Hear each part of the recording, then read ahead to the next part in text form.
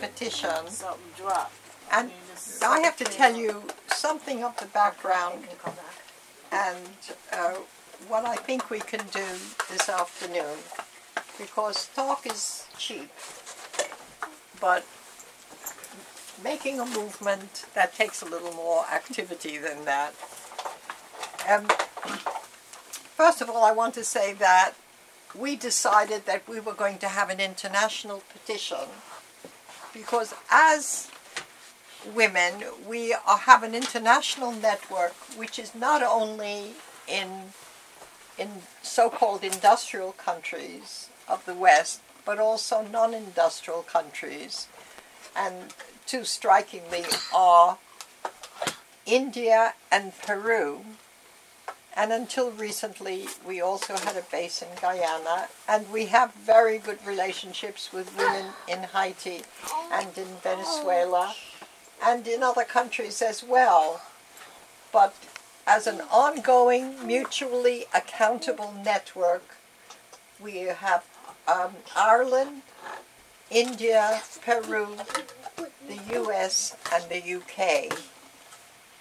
And that means that those of us in the industrial countries have been making demands on our governments for money or resources or rights. They're all the same, really, because it's more for more power for us. But it doesn't necessarily mean that those of us who are from non-industrial countries were going to benefit from that. Mm-hmm. And we felt that, that there was something wrong with the way that we had been operating. We weren't complaining about the past. We were re-seeing, re-organizing our view of the future, the present and the future. And so we thought that we had not until then organized a petition to get money from governments in non-industrial countries because the governments didn't have much and we knew that our governments had much.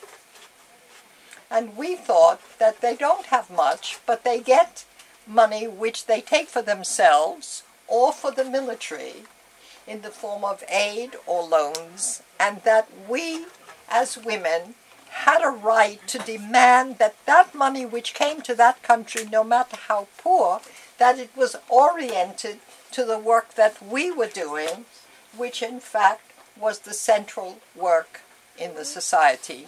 That case we had been making for over 40 years, first as the Wages for Housework campaign, and then as the Global Women's Strike. What we do makes society. There isn't any society without it what we do makes society, and therefore all of us have a right to claim the wealth of the society for us and for those we care for. Hello. Betty Ann has joined us, Selma. Okay. Hi, Betty Ann. We're moving on. We're right in the middle of Oh, hi, Bill. How Not are right you? now. Be I'm going to tell you about it later. I'm fine. Okay, we're, Okay, yeah, keep, All right. keep going, Okay. so, okay. I'm looking Um, forward to seeing you. So the petition was going to be international, making the case for women internationally to have the rights and resources which have to do with the work that we do, which is central to the society. And that was, I think, a breakthrough. It wasn't international because we like international things. It was international because we belong together, because we had the same um, rights to uh, the wealth of the society, and we suffered the same deprivation and punishment and punishment as carers because the people who are in charge of the society don't care at all. And they don't care for the people we care for. So our work is irrelevant to them. And that is reflected in the way that we are treated. And that is international. And we need each other precisely to make that case in the most powerful possible way. Nina constructed the petition. I worked with her on it, but it really was her work that pulled it together. That had mm-hmm. meeting after meeting with different oh. people in order to construct the petition. Mm-hmm. I want to make Betty Ann, let, let Just two Selma points. finish. Let Selma Over finish there. the presentation because there's a lot of people on the calls and at the in the room. right. There are just So well, I'll, I'm Two sharing points. and I'll. on mute. I'll- Maybe you can go on mute in the meantime. there Yeah. are just two points that I want to make about it. Well, maybe three. The first is what was the first? I can't. Um,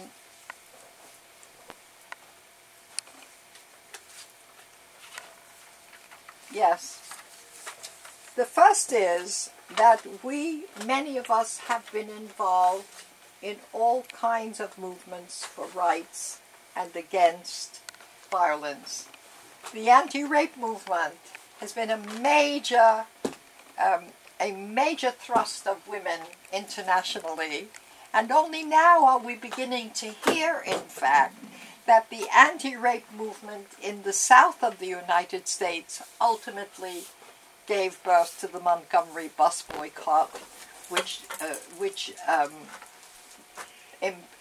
which pushed uh, Martin Luther King into fame. But it was the women who had been organizing against rape that was the source of that, and we will find that in a number of ways.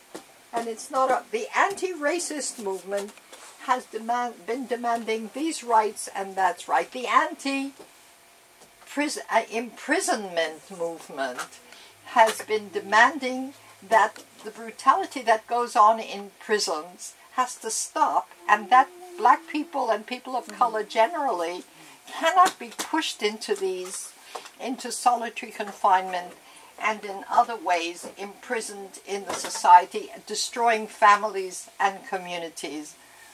But we haven't always said we not only want an end to this persecution and that violence, but we also want the money that will prevent it from happening again.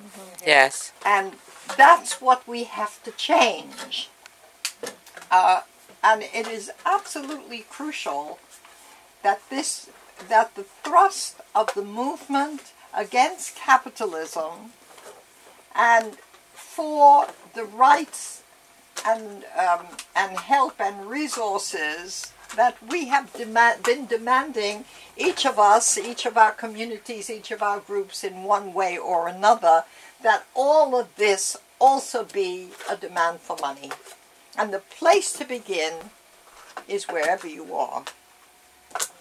There isn't one place. And I'm so happy that I'm sitting next to a woman from the $15 an hour campaign who told me just a few minutes ago what is the absolutely crucial information that when they go to demand $15 an hour, women say, I'm a full time housewife, what's in it for me? Mm-hmm. And when we go out and say we only we want, you know, wage for housework, we have to explain sorry, we have to explain that we want a wage for housework so that women can refuse the lowest levels of wages and say, take your job and shove it mm-hmm. because I have an income for other work that I am already doing. That is the connection that we have always made because we realize that the great division among us whatever other division there is, is between those of us who have wages and those of us who don't. Okay? And mostly it's women who don't have the wages, and mostly it's men who do. Now, I'm not saying those wages are living wages, and I'm not saying that's the most wonderful world to live in is to be in waged work. I'm not saying that. I'm saying that the difference between nothing and one is a very big difference. And a very big division among us, which we seek to eliminate mm-hmm. by all of us having one and a lot more one plus. Mm-hmm. Okay, so that's that's that's where the petition comes from. Okay, and what we want to do at this meeting and at meetings like this, a few meetings, not too many like this that we're having in the US this time, is precisely to see how this petition can be useful precisely in the struggles for rights and resources and against violence against women, prisoners, etc. You know, how it can be a weapon to build every aspect, every corner of the movement, because we're all in the same movement. The question is where we are in that movement and how we in different corners of the movement can work together. And so when you all introduced yourselves when we came in, I was kind of delighted because there's the living wage camp, the $15 an hour campaign. There's someone who's an activist in Washington, D.C. There are people in the global women's strike in, um, in, in Philadelphia.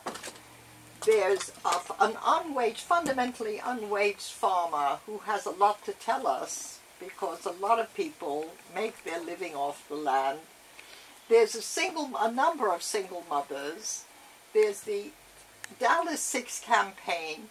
There's the struggle of women here in Philadelphia and New York and in other places too to prevent children from being snatched from their parents, mainly from their mothers, because they're sexist and racist and make money out of taking, kidnapping our children. And there's this great struggle that's about, that we are meeting all in one place. That is a triumph. Mm-hmm. That is a victory in and of itself, which we must make work for us this afternoon. Okay, and now I thought that Nina should start to speak about the content of the petition and perhaps begin to open up ways where we can all use it. Before Nina does, there was some concern that we've lost C- CWAP. Is CWAP still on the call? Yes, we're still on the call. Okay, very good. Thank you. Okay, Nina. Okay, well, I'm particularly delighted to be here because I, I don't know many, a number of you. And I've heard about you, and it makes a big difference to put a From me, to a she's heard about you from me. That's right, that's right. She comes back and tells you a lot of stories and all these Uh-uh. wonderful people that she's been working It's with. true. So it's really nice to put a face to a name. Okay, Selma gave some of the history about the petition. I think you should know in addition to that that we we had a petition in the UK for about a year which was quite similar to this one. It was a living wage for mothers. Uh, what was it? I can't even remember the A name living of it. wage? No, not living well, wage. it was it was Pay, a living a, wage. wage. Payment? I can't remember, but it, well, it was about a living wage, but the title of it was different.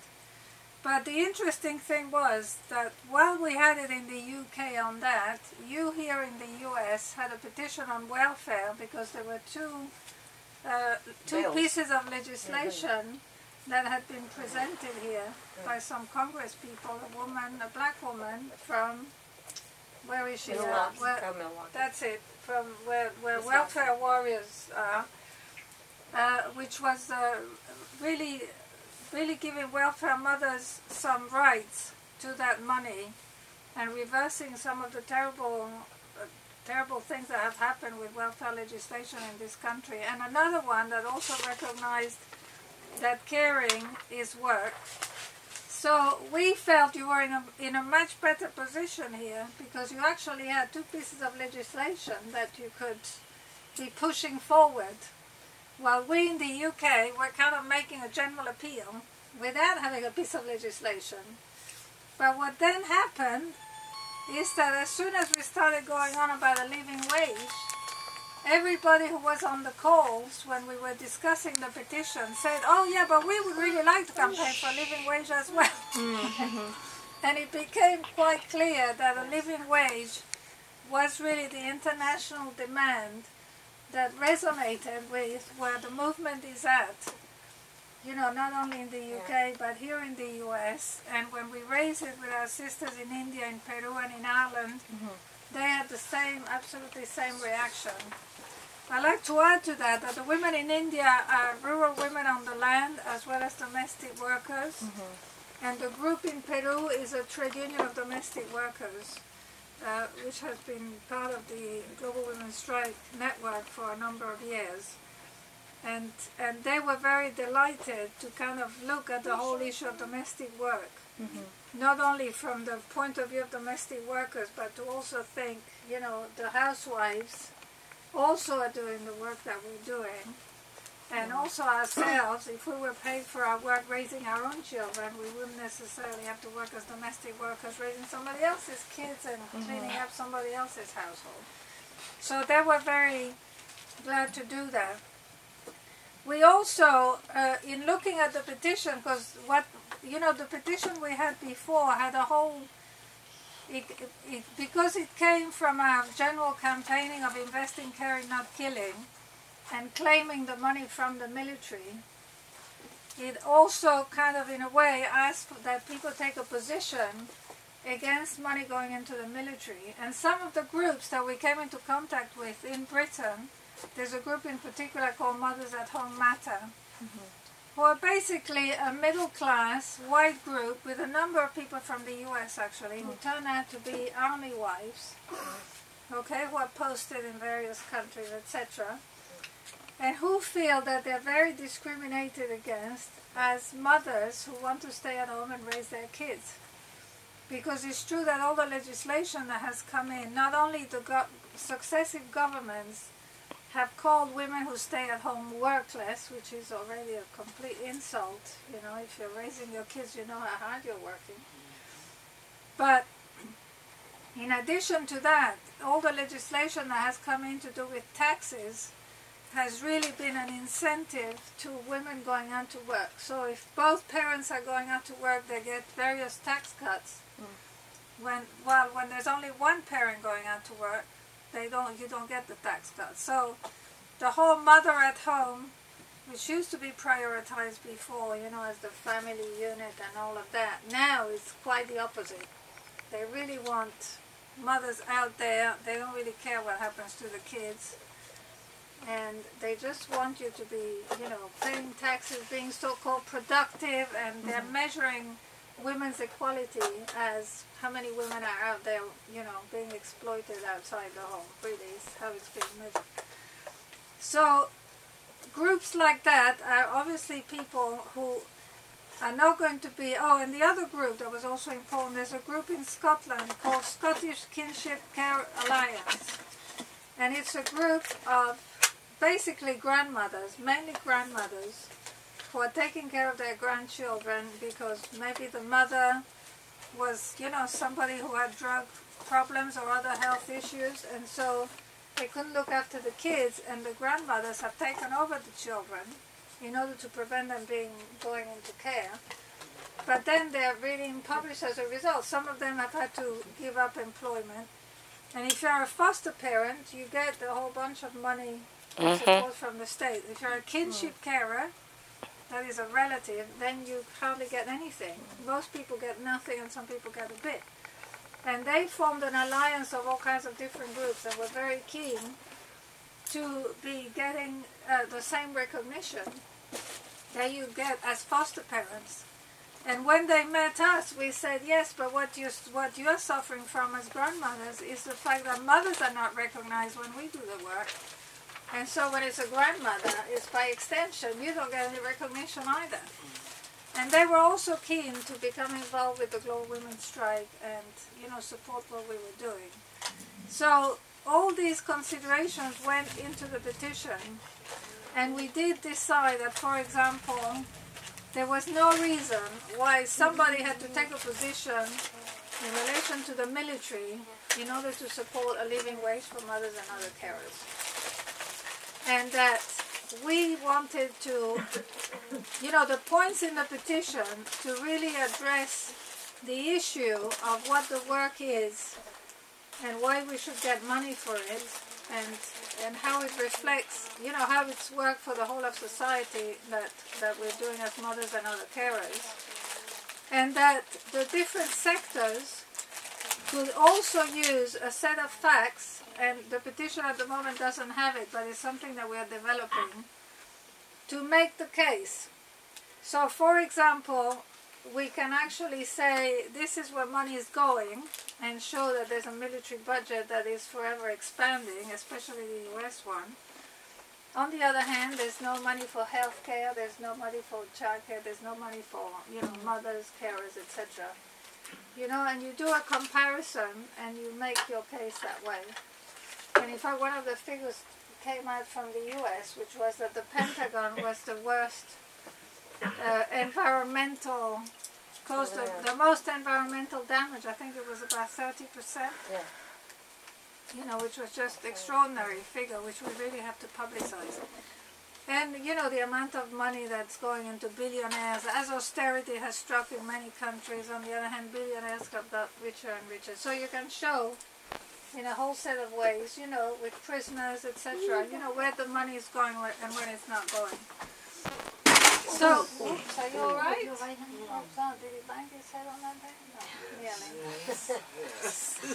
anyway, so we ended up with this, uh, with this uh, demands, okay, which I think everybody has seen the petition, which is caring for others is the foundation of every society. Yet this work done mostly by women is devalued and underfunded. We demand that every worker must be paid a living wage, including mothers and other caregivers. And the second demand, this is supposed to say one and two, by the way, not three and four. and the second one, national and international budgets redirect financial support and resources to mothers and other caregivers. And that is obviously speaking to what Selma was saying about it being an international petition. And we try to, in the list of points, really represents the different sectors, but directly uh, in relation to caregiving work, as, as we call it. So, for example, the fact that women do two thirds of the world's work, the fact that uh, women grow most of the world's food, we had long discussions about how to integrate that into the petition, you know, so that subsistence farming and farmers generally would be would see themselves, but if you're on the countryside, I mean, caregiving and growing food is really one and the same. You know, you can't separate the two. The issue of violence, the fact that women are trapped because you're, you're dependent, financially dependent on the man, and therefore you can't leave easily. Um, the grandparents, the grandmothers doing the caring work so that the mothers can go out to work and not getting any recognition for that. Breastfeeding, you know, the fact that you have to go to a job soon after birth, then obviously you're not going to be able to breastfeed with difficulty. So all these different issues, and we had international meetings with some people in the U.S. There was a whole really network working on the points. and then we also consulted with India and with Peru, and they were very delighted with the petition as well. So, and uh, it has had a very different response than when we did it over a year ago. It was quite astonishing, actually. And that shows you what has happened with the movement for a living wage and the $15, you know, your $15 campaign as well. Because it's a bit like people are ready for it now. Yeah. You know, and a year ago they were a lot more skeptical. As soon as we had this one, the mothers at home, whom we had in mind, who had said, look, we, uh, we support your demand, but we don't want to have to take a position on the military and all that. They had no problem. Not only they just, yes, we are endorsing. The Scottish Alliance of Kinship Carers had no problem. We got some, we got a famous trade unionist, Bob Crow, who was the best of the trade unionists, really, who unfortunately has since died, but he immediately signed it as well. We have a very good member of parliament who is very supportive and, uh, you know, has signed it. And also the famous tennis player Martina Navratilova, I think you know that name. She signed. She met Selma at an event and Selma and a woman from Women of Color. Yes, that's right, Sarah. Yes, and that, and uh, she. Oh, in fact, she didn't hear you speak. That's right. It was Sarah that she saw. We have a, a, a campaign of people with disabilities who has been very vocal against the cuts. in Britain, and again, they were at first a bit skeptical, you know, because they felt that some, somehow if you recognize that carers are doing this work, then maybe it means that you as a disabled person, you're not as independent as you would like to be. They had no problem this time around. You know, it's like people were in a different place. They really felt that this was the thing to go for. And there is a whole uh, there there is a whole thing going on about a basic income, Mm-hmm. a basic guaranteed income, which I'm sure the fifteen dollar campaign you must have come across that maybe. Mm-hmm. We are definitely. But like the Green Party is promoting a, a guaranteed basic mm-hmm. income on various people, which obviously we support. But on the other hand, it doesn't deal with some basic issues. Yeah. Because caring work, you know, mm-hmm. it's has never been recognized, and it's not recognized by by a basic income. And in a way, you feel it's a bit like I lived in Italy for a few years in the in the early seventies, and it, it's a bit like you know the the Italian left used to be into this zero zero work that somehow with technology and this and that we were all going to have zero work, except mm-hmm. that the women carried on doing all the caring work. You know, the men were definitely working less at some mm-hmm. point, mm-hmm. But not the women. And you felt there was no recognition for the mm-hmm. fact that we were doing this caring work, which we would like them to do as well. Mm-hmm. But also that that is the work, you don't want zero work in relation to caring work. That mm-hmm. is the work that we all want to be doing. Because it is the relationships, you know, Selma always says, you know, they're turning caring work into an industry. but the fact is, it is the basic relationships of survival and of society. And if we don't have caring, then what the hell are we on about? You know, then. So that's what we try to do with the petition. And uh, yeah, that would it would be great to have your comments. I think some of you were on the calls, but not everyone. So, and I think uh, it does. You know, with the fifteen dollar campaign and the basic income and all that, I feel it's going in the same direction, but at the same time recognizing the work. And this is the work that has to be recognized. You know, there's a lot of other work that goes on out there that we shouldn't be doing. But this is the work we should be doing, and we mm-hmm. should be doing on the very different conditions, aiming at something much better than Yeah. what we're aiming for now. Mm-hmm. Can I thank you for that, Nina, but I want to add just one thing Yeah, to yeah. that. And that is that there are many people now who are speaking, or at least some people who are speaking about a basic income. How could I be against that? It is just not possible to be against each of us having a basic income so we're never starving. On the other hand, because it leaves out caring, something happens when you're building a movement for it. Sexism is built in. And racism to some mm-hmm. degree if you're thinking internationally. Because internationally, it's people of color who are most likely to be unwaged without any income, but not in a job just working your butt off trying to survive. And that survival work, which is overwhelmingly done by women but done by all who have no money, that is a crucial part of the work that must be acknowledged.